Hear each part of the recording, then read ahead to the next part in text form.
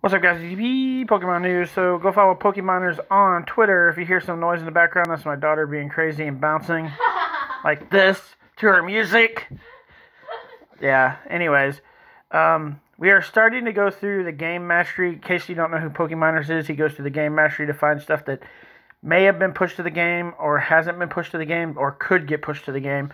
So definitely go follow him on Twitter. Like I said. Um, it says we are starting to go through the game mastery for level 50. It's a lot, so bear with us. Ha ha ha. First up is the candy per XL candy. Has all been set at 100 for every family instead of 9001. That would have been horrible.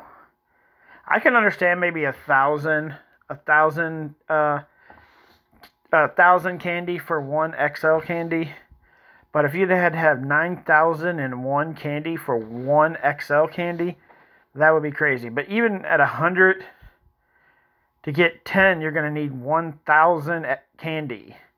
That's quite a bit still. It says, also as expected, the drop level for XL candy is only dropping once you hit level 40.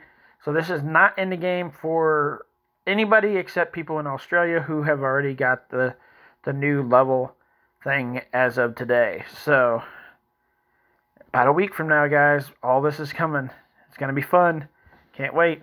What do you guys think? Comment below and let me know.